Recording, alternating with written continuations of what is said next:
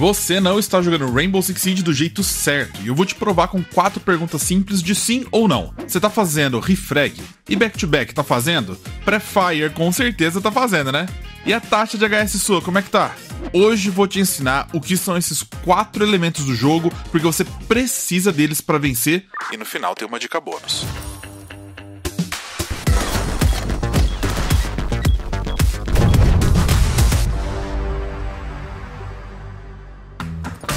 Salve, meus jovens padawans, eu sou o Nerd Engenheiro. Sejam todos muito bem-vindos ao episódio 9 desta série de como jogar R6. Sério, já estamos no episódio 9, cara. Mas nem por isso esse vídeo é menos importante do que os outros. Talvez seja mais importante ainda. Porque se você é novato, quanto antes você aprender sobre refrag back-to-back, mais rápido você evolui no R6. E se você já é um jogador mais experiente, este vídeo vai te fazer destravar aquela patente que você pega toda season e nunca sobe dela. E vai te ajudar a subir pro próximo patamar da Ranked. Você quer subir de rank? Já deixa o seu like porque esse vídeo vai ser um divisor de águas para você. Antes de tudo é importante deixar claro, refrag, back-to-back, pré-fire e taxa de HS são técnicas de trocação de tiro e de mentalidade que vão permitir que você faça jogadas individuais mais fortes, ou seja, vão permitir que você ganhe mais eliminações por rodada se você ficar bom nessas técnicas. E eu te garanto, todo jogador bom é bom nessas técnicas aqui. Não existe Dima ou Champion que não saiba fazer elas muito bem.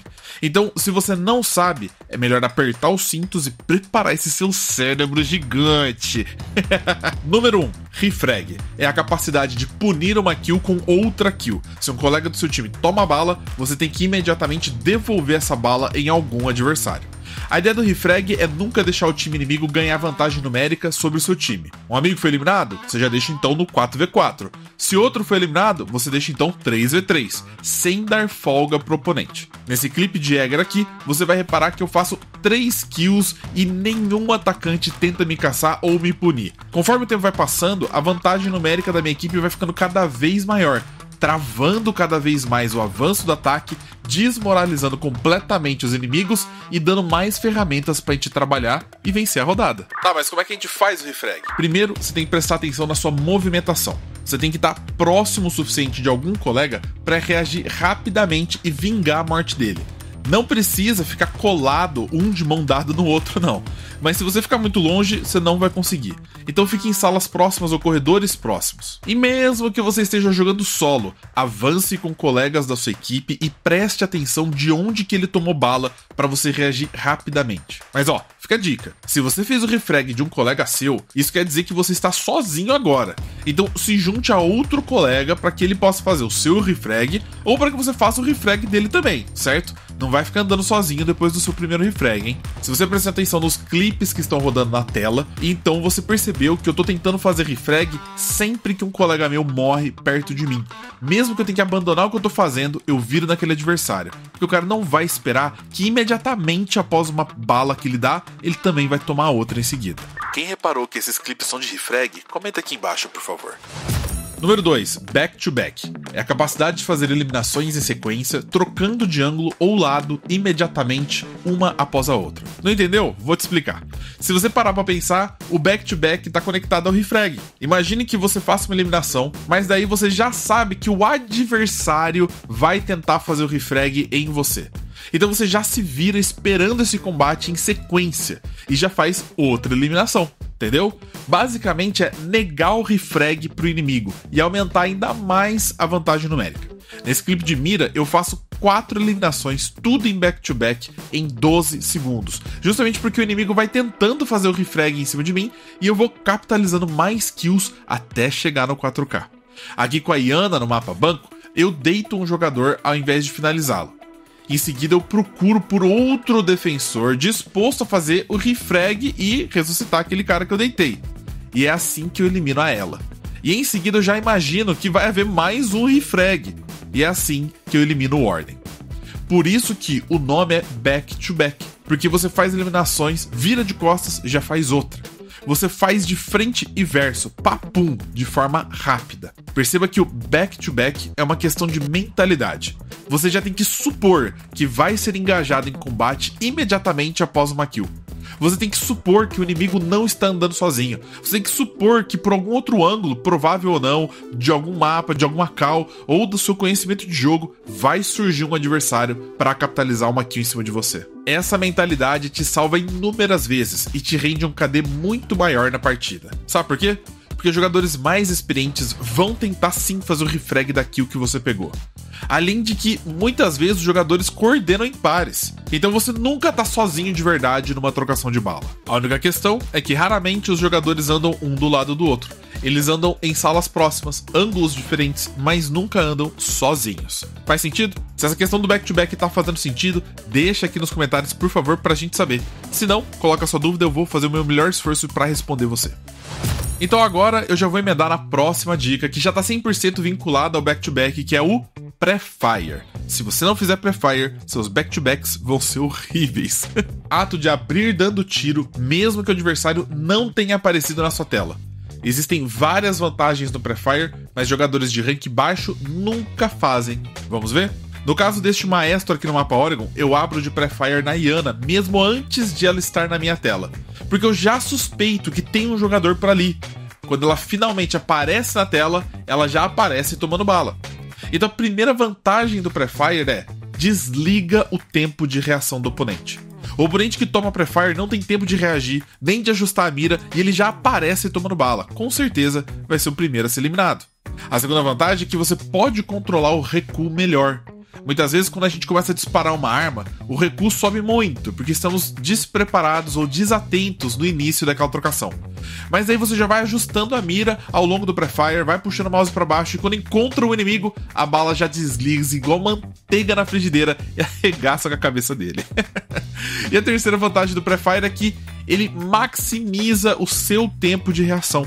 Muitas vezes a gente demora muito para atirar quando o inimigo aparece na tela, porque ele tem que aparecer na tela, daí a gente ajusta a mira, daí depois a gente clica. Com o pré-fire, você já faz tudo isso ao mesmo tempo. Você entendeu? Você por acaso reparou que aqui também todos os clipes foram de pré-fires? Se sim, comenta pré-fire aqui embaixo para eu saber se você está ligado no vídeo. Número 4, taxa de HS. Total de headshots que você faz dividido pelo total de eliminações que você faz. Ó, fica mais um pouco aqui no vídeo que a gente ainda vai dar dica bônus, tá bom? Bom, se você tá usando seu cérebro gigante aqui no vídeo, você deve estar se perguntando, nerd, e se eu faço refrag, faço back-to-back, -back, dou bastante pré-fire, mas os meus adversários também fazem isso? Quem que vence a trocação? Vence quem dá HS primeiro. No caso de você enfrentar um jogador tão esquilado quanto você, tão ágil quanto você, tão preparado quanto você, o que vai fazer você vencer dele é a, o HS. Sabe por quê? Porque se você dá tiro no braço, no peito, na perna, você dá muitas oportunidades pro seu oponente te devolver bala também. Tá, mas e se você tiver miado? Basta uma bala no joelho e você já era. E se ele der três balas no peito e você der três balas no braço? Ele vai te eliminar primeiro. Então, se você der HS, você impede o cara de reagir. Você impede ele de trocar bala, de ter oportunidade para te eliminar. E não importa se você tá miado ou não. HS resolve instantaneamente o seu problema. Fora que se você mata mais rápido, você gasta menos balas, o adversário vai demorar mais para perceber onde você tá, você consegue fazer outro frag ou fazer um back-to-back, -back, concatenar várias eliminações sem ter que recarregar tudo num pente só. É só vantagem da HS. Eu poderia te falar sobre aquecimento, posicionamento de mira na cabeça e várias outras coisas, mas já tem vídeo aqui nessa série de dicas no canal da Ubisoft para falar justamente disso. O que eu vou falar agora eu não falei nesses vídeos anteriores. Primeiro, para você dar mais HS, use armas de fire rate alto, por exemplo, F2, as SMGs, a P90 e por aí vai. Arma de fire rate alto gospe muito mais bala, o que aumenta a probabilidade de uma delas pegar na cabeça. Desde que você mire alto o suficiente, o próprio recuo delas já vai subir pro HS, mesmo que você não mire a primeira bala no HS. Se você for com DMRs ou com armas mais lentas, como a do Pulse, a do Sled, a da Ing, então você vai ter muita desvantagem na trocação. Por isso, mesmo que o dano seja menor, verifique se sua mira tá boa e vai para uma arma de fire rate maior. Segundo, pense na cabeça, sem insegurança, sem medo. Pense só na cabeça. Mete bala na cabeça, derrete a cabeça do cara. Pensa só em atirar na cabeça dele. Aparecendo na sua mira, cabeça atira. Se você fizer isso, você vai dar bala na cabeça. Se você tá me duvidando, me coloca a prova, me testa aí. Você vai perceber a diferença de pensar assim. Agora eu quero dar uma dica bônus de uma habilidade que a galera de rank mais baixo Não tem, simplesmente não tem. E faz toda a diferença na sua vida da R6. Strafe de informação. Muito se fala e se ouve de strafe rápido, strafe do bolo, strafe do Shaiko, strafe bala, mas antes de tudo isso, você tem que saber fazer strafe de informação. Sabe como? Antes de abrir uma porta, numa janela, num termaitado, você faz um strafe e volta, rápido, sem mirar, sem nada, só vai e volta. Joga o corpo e volta, joga a bunda e volta. Se tem alguém mirando naquela posição, o cara já vai sair dando tiro, sentando bala, dando pré-fire, o cara vai se desesperar achando que você tá abrindo ali aí você não só vai poupar o seu HP de diminuir de bobeira, de você tomar uma bala desprevenido, como também você vai saber exatamente onde o adversário está, vai obrigar ele a recarregar ou se movimentar. Você deixa o inimigo inseguro quando você obriga ele a tirar e ele ainda não acerta nada. Tenta isso na sua próxima partida você vai perceber que você vai sentir o Doutor Estranho revelando a posição dos adversários. Araid, eu não sou bom em fazer strafe. Abre uma personalizada, vai no campo de treino e ensaia. Uh, e aí, gostou do vídeo? Então mete o like aqui nos fogos de artifício porque deu muito trabalho fazer ele. Esse roteiro é importantíssimo para quem quer subir de rank e pegar mais kills. Se você ignorar e ficar com preguiça de aprimorar qualquer uma das habilidades que eu falei aqui no vídeo, eu garanto que você vai ter muita dificuldade de subir de rank. Eu só consigo pegar meu Dima e às vezes o Champion por causa desses 4, 5 requisitos que eu falei no vídeo. Por isso, se for necessário, volte a algum trecho do vídeo e assista novamente, porque vai fazer diferença. Obrigado por estarem apoiando nossa série de dicas, tem dado trabalho, mas tem super valido a pena. A recepção de vocês aqui no canal tem sido ótima. Compartilhe esse vídeo com seus amigos que jogam R6, porque quando todo mundo no squad evolui junto, a gente se diverte mais, o squad fica mais legal e o Dima chega mais rápido também. Eu sou o Nerd Dinheiro, sejam todos sempre muito bem-vindos aqui, fiquem com Deus e a gente se vê, claro, sempre no Rainbow Six Siege.